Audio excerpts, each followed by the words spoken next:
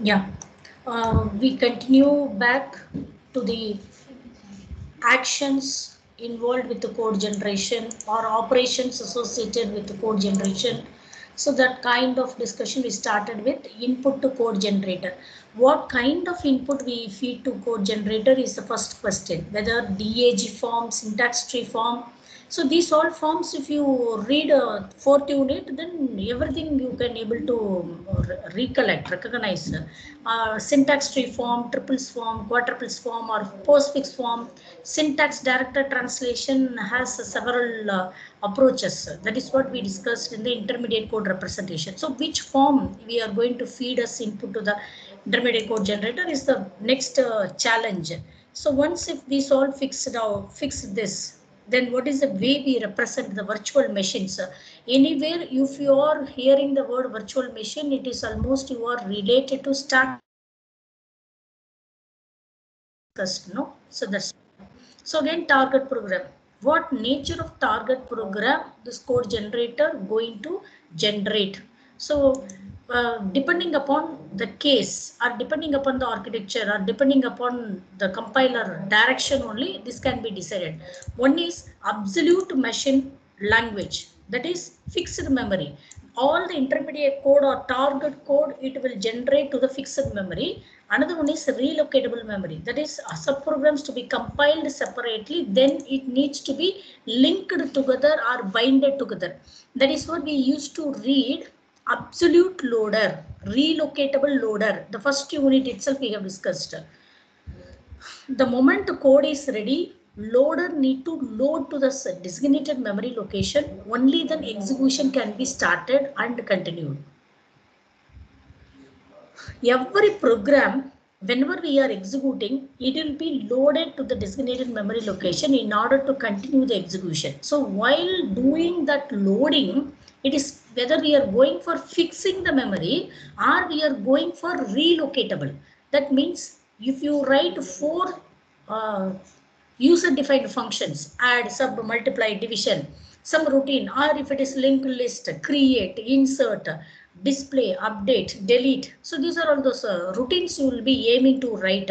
So every routine will be, sub problem will be compiled separately, then need to be linked together. That is relocatable. Beyond this all, directly assembly code. That is the best method recent days. Things are happening. What this assembly code will happen? Move A comma B. So that is the instruction. So it will have one lookup table.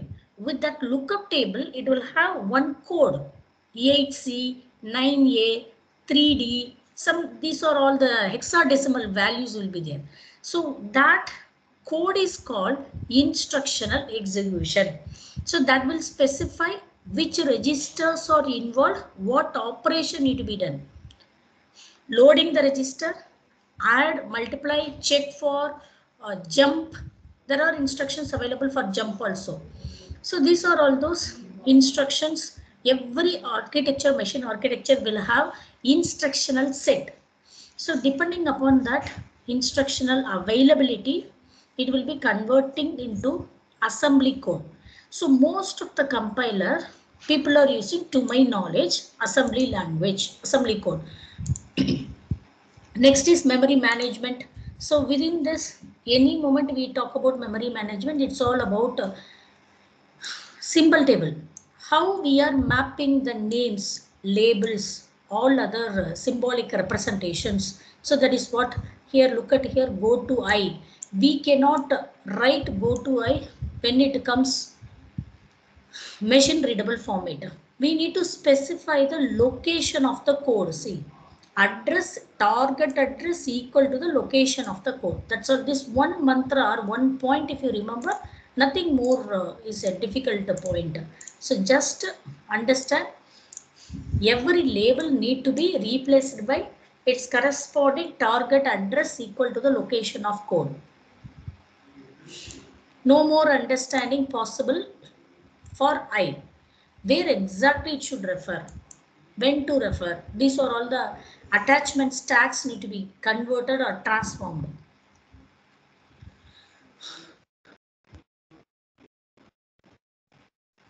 Next, see forward jumps to I. Forward jump or backward reference or whatsoever may be address is a matter. When we are writing go to L2, go to here, anything is possible. But when it comes internally, we need to um, be careful about the address references. Next is instruction selection. This is another major challenge. Plenty of instructions available. So what is the way? Not you. You need to write a program how compiler while developing compiler. So when multiple avenues are given, options are given for the same scenario or for same functionality, what choice we will be using? That is what the next uh, question mark. Here you will be having some uh, idea related to cost of the instruction. So I have taken one piece of information. Let me go through. I remember, but I don't know whether I have brought here or not. Give me a minute. I'll go through somewhere. Yeah, look at here. This is what exactly I mean to say. This is not related to this particular topic. This is a, different topic, but this is a way to understand better instruction selection. Look at here, add register, source register, destination register. These two registers are loaded with the actual data. You may be writing A plus B. That is what add. That A need to be loaded to register 1. B need to be loaded to register 2. Always the operations with register cost is lesser. That is why more or less C language is hardware friendly language I can say. That is the reason you have one data type, register data type, static data type, local data type, global data type in which registered data type. That is fastest execution. So the reduction of time consumption for the conversion, intermediate code, this all the story will be reduced. Look at here next, add C comma RI. C is the label and RI is the another or one more register. One register you are using. So this register will hold the value. The cost is 2 increased. Next, instead of direct add, if you are choosing move C comma RJ, first moving to the RJ, C to RJ, then adding these two register, cost is increased 3. So this is what exactly I mean to say. Why it is important? We need to while choosing the the cost of the instruction is a matter. This can be done in any method. That is what I mean to say. We can involve, first we can bring two registers for the addition operation, one of the memory reference and one register for the addition operation. We can move one of the data operand to the one register, then we can perform addition operation. One small task itself, you have three ways to compute, three ways to do. So internally, how your algorithm is transforming after all A plus B into the machine code or assembly code instruction is the question mark here. The cost is a matter. This cost decides which is the method best. This is what we are discussing all about.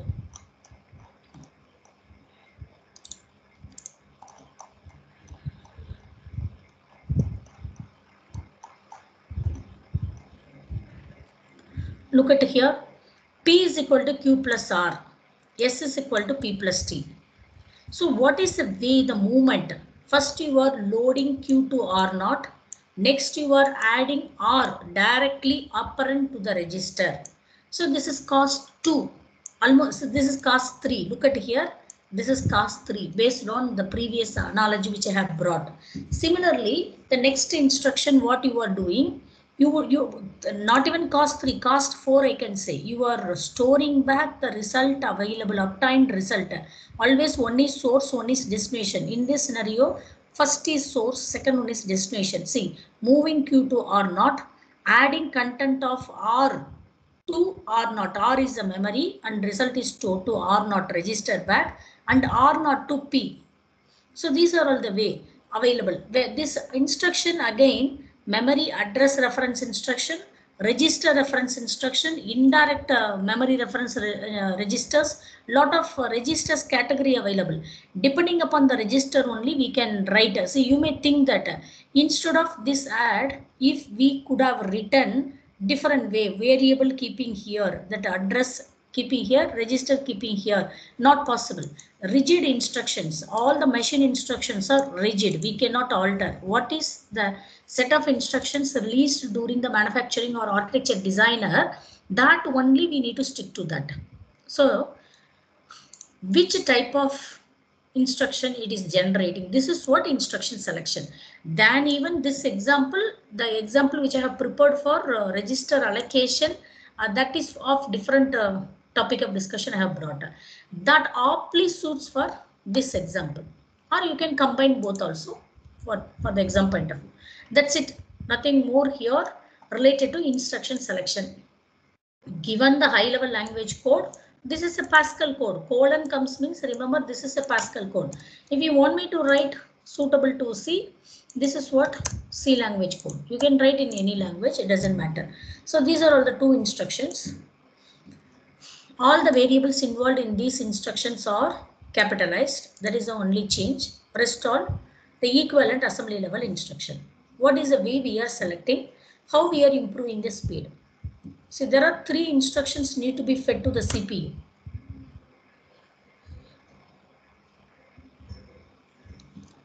After doing addition of two numbers, you will be doing three instructions. It is possible to do with the two instructions also. One instruction is also. So what is the minimal number of instruction you are selecting is the choice of code generation technique. Next is register allocation.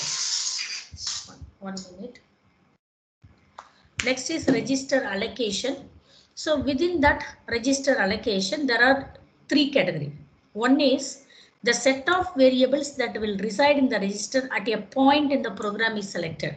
So for line number 10, for example, imagine line number 10. How many registers are required? Live registers it is called. The values are required for the execution of that particular line or subsequent lines. So that is live registers. Register assignment, the specific register that a value picked. So here exactly you will be choosing for destination I can say. This is for storing destination.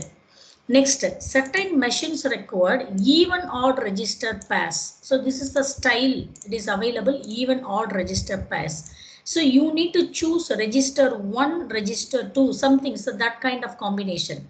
What they are trying to tell is maybe uh, this is a, the modern day machine it has or not, I don't know. So look at here, divide x comma y. This is called division, div x comma y.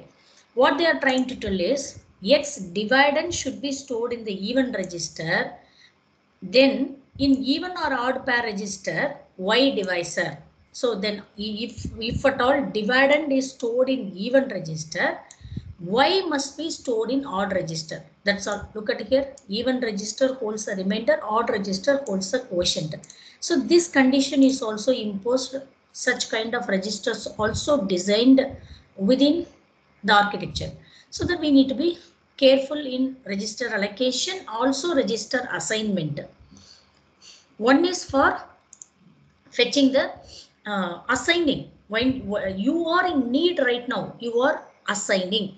How many registers are allocated already, which are all free. So these are all uh, pointing out free registers, occupied register, without within occupied register, whether that is live, live register. The data is live record for at present or in the near future lines are not required. These all are together only called register allocation. In detail, we are going to address in the last topic of the same unit. That's the reason I'm just stopping with these three introduction. Register, allocation, register, assignment and even odd pair registers combinations or type is available. We need to consider that as well. Next is evaluation order. The order of evaluation is a matter. So evaluation order is completely the instruction order of evaluation based on the efficiency of the resources. That's it. It's a kind of NP complete problem. Can affect the efficiency. The order of evaluation itself, it is not order of evaluation is not your time complexity, big O notation. Here I mean to say order of evaluation is which instruction need to be executed first, which can be postponed later, so that it will be minimized the number of computations or resource utilization. Fixing this kind of problem or developing algorithm is also difficult. This is called NP complete problem. So this is the next point, evaluation order. Uh, coming to the, the major topic of the same sixth unit. This is up to this one of the major topic. Only you have three major topics. So look at here issues. So far now we have discussed this. Next to flow graphs. Uh, four, five major topic. Yeah, four, five. Simple code generator, peephole optimization, register allocation, and assignment. Now we are stepping into basic blocks and flow graphs. This is what again I emphasized today morning when I started. In this, what are all the characteristics we should understand about basic blocks? What is basic block? What are all the characteristics? We are going with little detail. They do not contain jump statement, go to or jump statement, transfer statements should within the block, it should not contain. There is no possibility of branching or getting halt in the middle. Middle of the block, no halting, no branching. All the statements executed in the same order they appear cannot be changed the order of appearance. They do not lose the flow of control of the program. So these are all the they should not affect the flow of control of the program. That is the meaning the last point. Such way that block need to be formed. Let us look at example of basic block. This is the given expression A is equal to B plus C plus D. How you can write basic block? All the three statements. Uh, this is what machine instruction. After the machine instruction only flow graph is possible. Not directly from the original program. So this is three address code representation. B plus C T1. T1 is a temporary variable generated during the compilation process. This also stored in the symbol table. Then T1 plus D T2. The finally uh, LHS, the resultant uh, operand is receiving T2. Next, this is the basic block. So all should go in a single block because there is no branching no transfer, nothing is available. A simple instruction which is given in the high level language decomposed into several three address code. This is much more uh, sophisticated level, not even involved with the register, not even the assembly code. It, this is perfect intermediate code. So instead you can write in your examination example uh, machine code also. That is not a matter. Now all the statements executed in a statements execute in a sequence one after the other. You can rewrite like this also. All the statements are executed in, in sequential order. That's why it is formed as a basic block. One block should have sequential order of execution, no flow, no branching, no abrupt termination, no intermediate transfer jump. So these are all those stuff we need to keep in our mind, nothing more. Next, which is not a basic block. Look at here, if condition is brought inside the block, go to, it, it is too much of mistake. If condition is also inside, go to is also inside. If alone need to be a separate block. In the previous example, I have shown in the previous session. So never it should be branch transferring uh, instruction. Only it should maintain sequential instructions.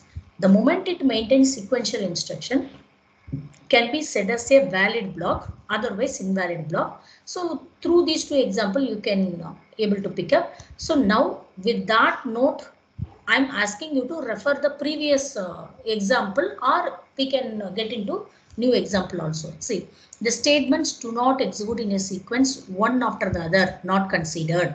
They do not form a basic block which why the justification why it is not a basic block. That's fine.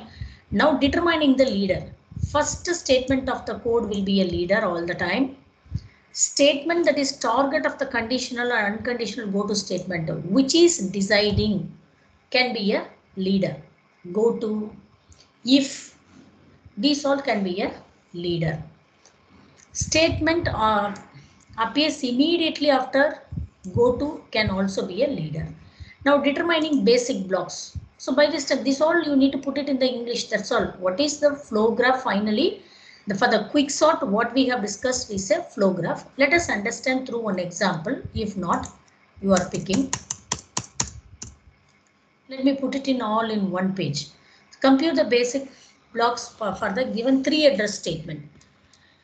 It can be machine address, machine code, or it can be three address. Product is initialized as 0, I is initialized as 1, T2 is calculated as address of A minus 4, T4 is calculated as address of B minus 4, T1 is equal to 4 into I, T3 equal to this, this, this. Look at here, when the branch will come, only here the branch will come. P, P product equal to 0 is the first statement of a leader this is the last statement of a leader. See, look at here. Since the target code of the conditional go, go to statement is a leader. Now, how this statement became leader, look at here. If of, if, if based on this condition, if of, where it is going to the line 5. So, before these all can constitute one of the block. This is referred by a branch so that we cannot club together. So constitute a separate block having these four statements. That is the first step. See, look at here. Block 1 have come. Next, you can put it in the block 2 because it is a self-reference. Self-reference is possible. Go to 5 is if condition. The moment the end of the block it reaches, then branching is happening. Either it can go to fifth condition or it can go to stop. That is the reason this is a very simple example you can able to understand how this works. Similarly for the second flow graph, look at here. This is a perfect flow graph for the same. It is a self-referring flow graph. You need to refer through this also diagrammatically. Here we articulated, here we are diagrammatically representing. With that note, next topic is simple code generation, peephole optimization, the last one is register allocation and assignment. So I would be covering in the forthcoming session. This all maybe one more hour sufficient for me to cover uh, the fourth, sixth unit. Now I will announce or now itself I will be announcing uh, your assignment of uh, the mid to